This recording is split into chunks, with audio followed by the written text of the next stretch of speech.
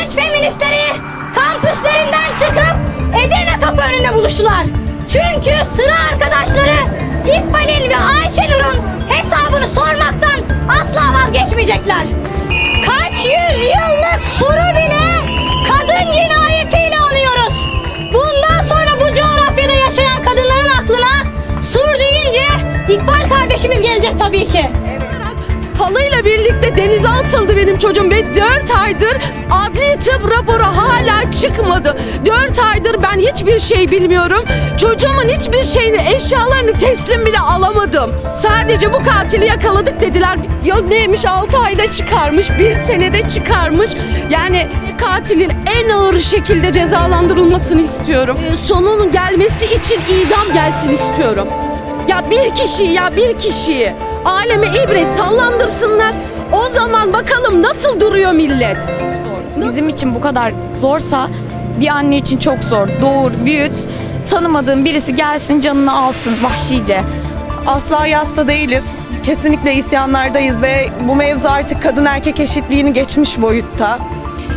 Ee, yasa istiyoruz, yaptırım uygulanmasını istiyoruz. İstanbul Sözleşmesi yaşatır diyoruz. İktidar cezasızlık politikalarına devam ettikçe kadınlar şiddete uğramaya devam ediyor.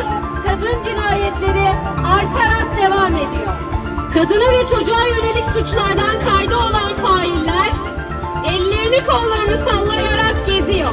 Eylül ayında 34 kadın erkekler tarafından öldürüldü. 20 kadın şüpheli şekilde hayatını kaybetti.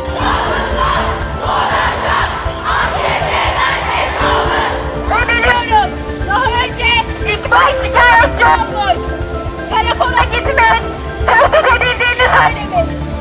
Fail defalarca İkbal'i tehdit etmiş. Sonrasında ne oldu? Fail hem onu hem arkadaşını öldürdü.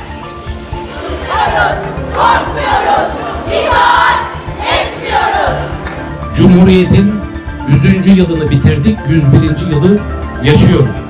Ama biz hala kadın haklarını, çocuk haklarını, cinsiyet ayrımını konuşuyoruz.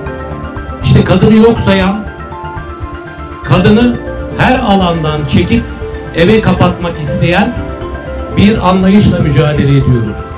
Cezasız kalmış ilk suçtan daha cesaret veren bir şey olamaz. Sayılan sebepler değişiyor ancak şiddet değişmiyor ve kadın cinayetleri ne yazık ki son bulmuyor. Bir kere daha söylüyoruz ki sebepler münferit gibi görünse de kadın cinayetleri ve kadına yönelik erkek şiddeti sistematiktir.